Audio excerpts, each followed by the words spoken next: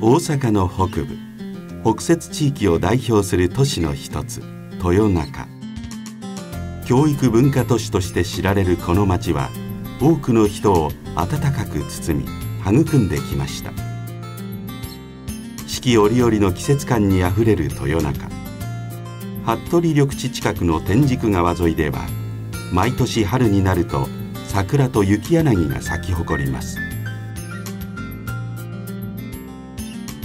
緑に包まれた千里ニュータウン恵まれた住環境と多彩な商業施設が多くの人を引きつけます。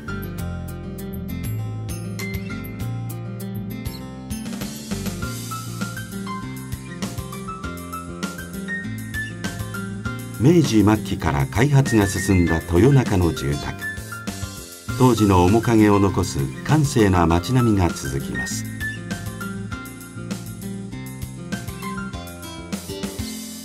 豊中の北部を南北に貫くロマンチック街道。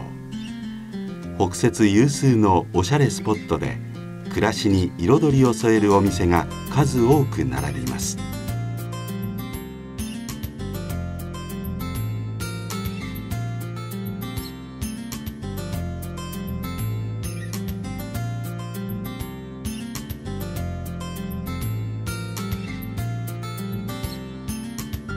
北摂の台所庄内を代表するお店の一つ方南市場。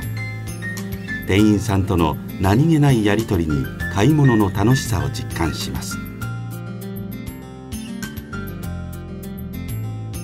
古くから交通の要衝として栄えた岡町。商店街には歴史の積み重なりを感じるお店や街並みが点在。隣接する原田神社は地域の安らぎのスポットです。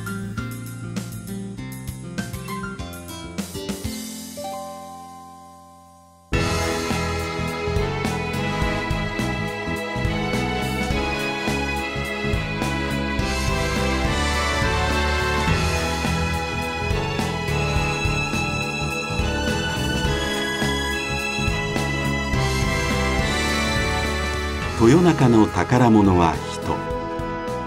仲間や家族地域の人たちと共に彩られた日々の営みが豊中を輝かせています。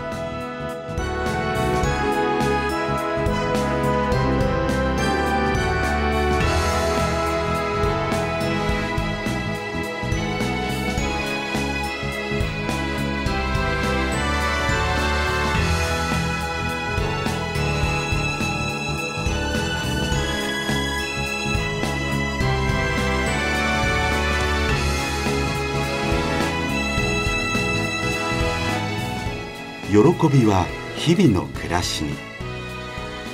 豊中が目指す街の姿です。